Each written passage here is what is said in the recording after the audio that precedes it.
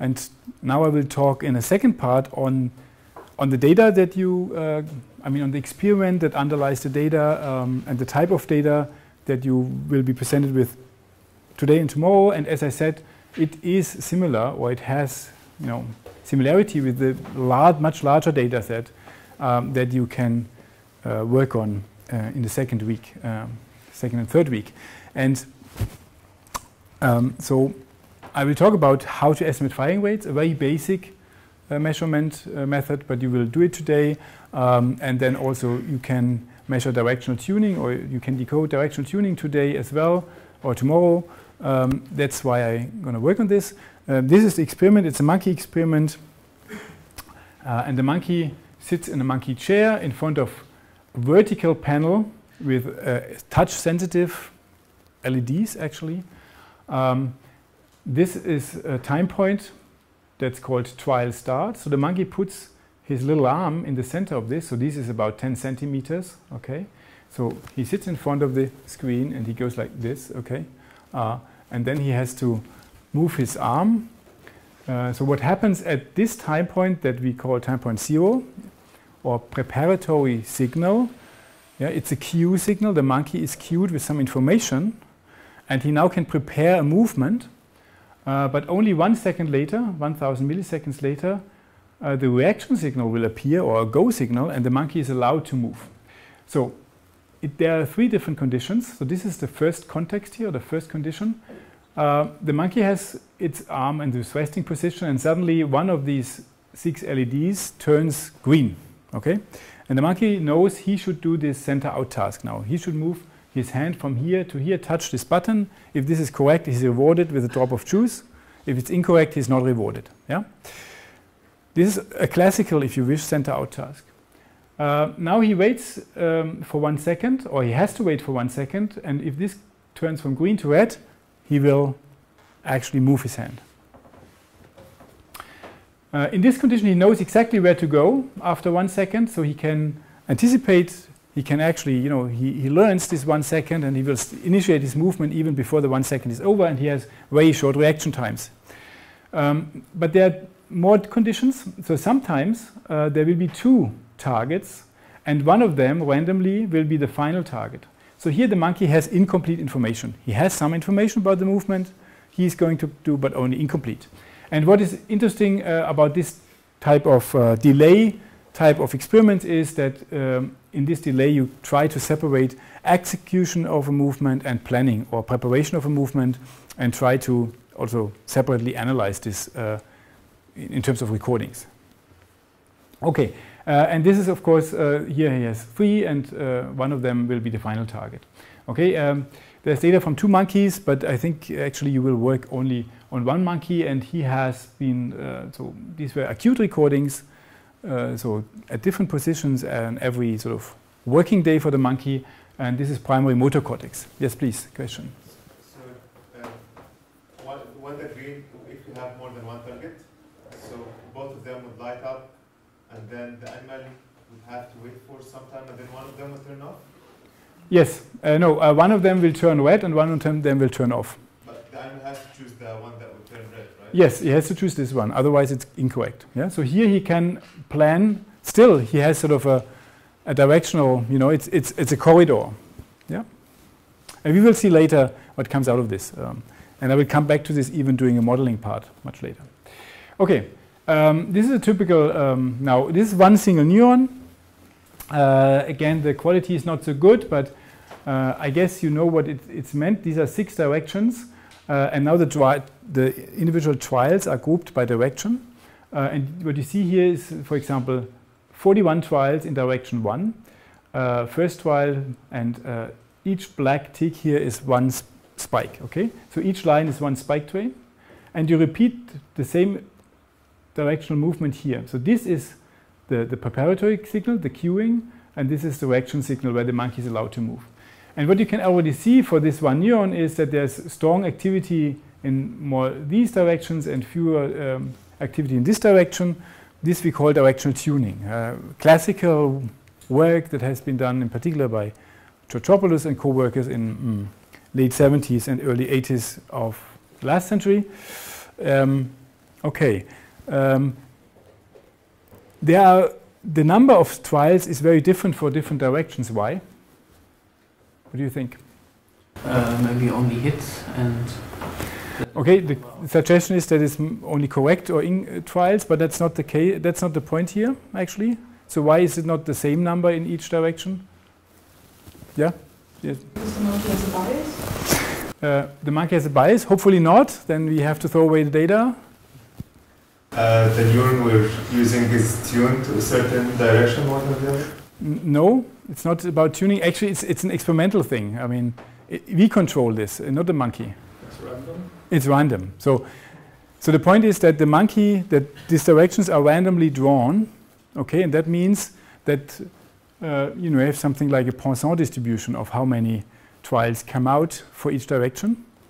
And that's important because if the monkey knows, uh, let's say this would be, uh, you know, 120 trials in total, and he has been there very often, then he gets biased because a monkey or we, we are clever enough to, you know, okay, we have been there quite often. That's, I think, it will soon come there. That's what we sometimes do in video games also. Yeah? You, you predict. Uh, okay, that's all I'm saying. Uh, so this is random, and that's why, but it's, it's something you will um, not like when you work with this data because you will do everything from scratch today and tomorrow. So I just give you the data and what to do, and you will program it. You can choose Python or MATLAB. We'll talk about this later.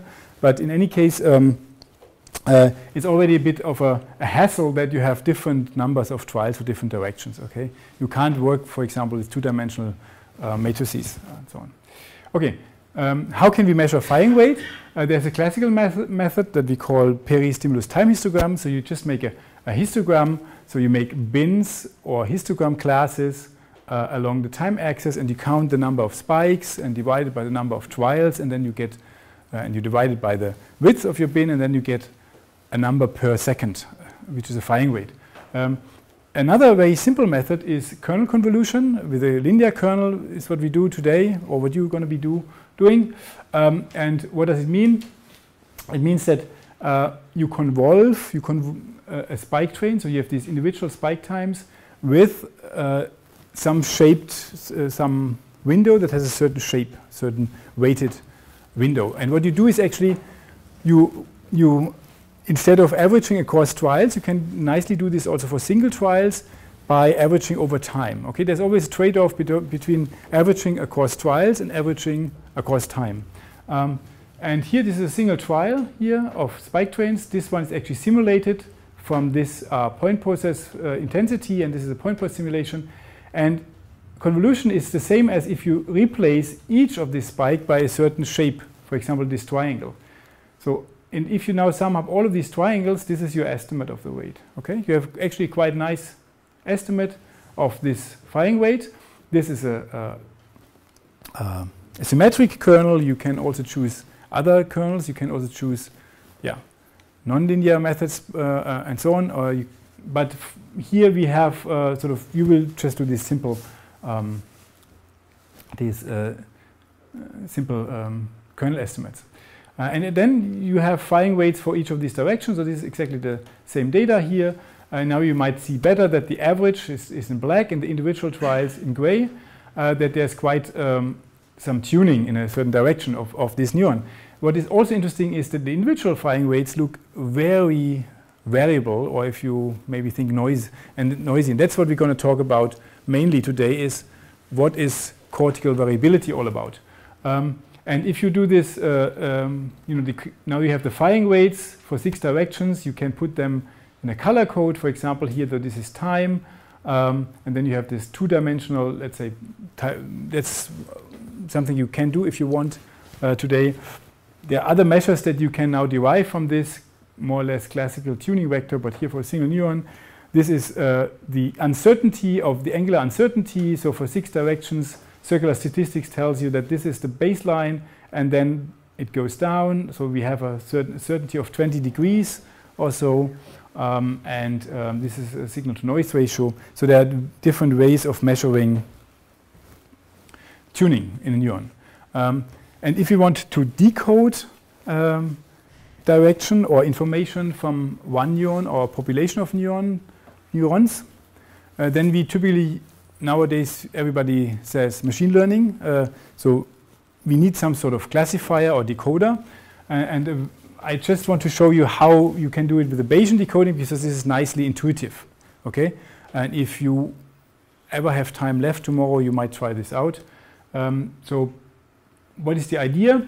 Uh, we have a movement direction d and we have a firing rate r. Um, what you would like to know is, or what we'd like to predict or decode, or potentially predict for the future, the probability uh, of observing a certain direction giving your firing rate. Okay, I want to say, oh, I have, oh, now it's this firing rate. The, okay, the probability for direction six is 0.2.